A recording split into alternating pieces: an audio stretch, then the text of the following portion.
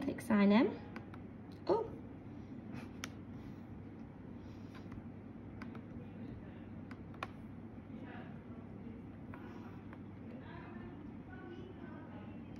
Add your email address that's been given to you by your class teacher.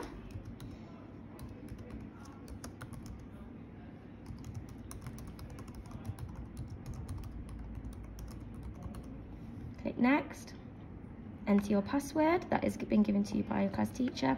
It will take you to this website as this is our school portal. Enter your password.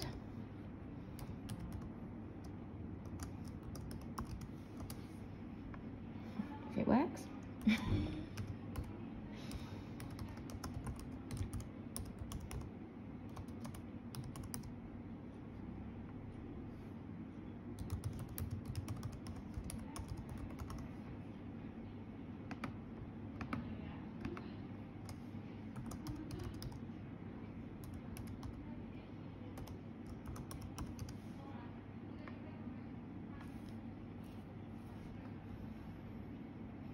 This will then take you to the Teams homepage.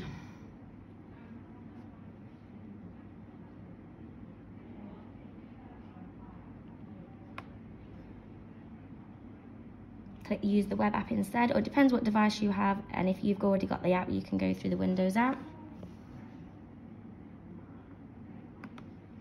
Then click on the classroom that's provided. It will be depending on what year group you are.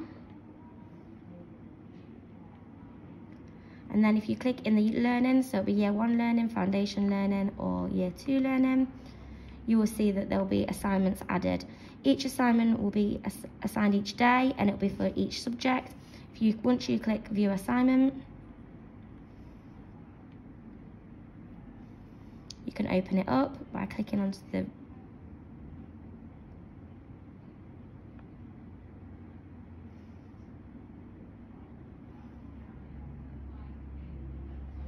Once this is opened, you can edit your own copy. So this is only your copy. You will not be overriding any of the main uh, resources. This is your own copy. Click onto the page. You can insert text. You can insert by drawing with a pen. Um, then you add in once you've done your learning. Once you've finished, so I'm going to add in pi, so p If the text doesn't come up the right colour, highlight it. Click on the Home tab, change the colour of your text. Once I've completed the page, I'll submit it by clicking Close. Click Hand in. And this will come over straight to your class teacher.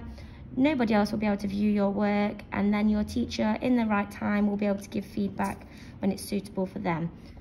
You can then go back and complete the next assignment. When they're finished, they'll come up as completed.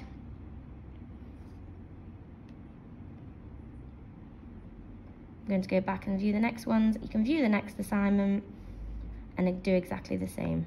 Any questions, please contact your class teacher, but there will be a video, videos to follow.